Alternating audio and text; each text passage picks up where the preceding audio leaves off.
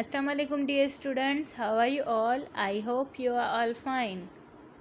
today we are going to learn how to write letter N आज हम सीखेंगे letter N को कैसे लिखा जाता है। Students today we are going to learn how to write letter N this is our hollow letter letter N what is the sound of N it's न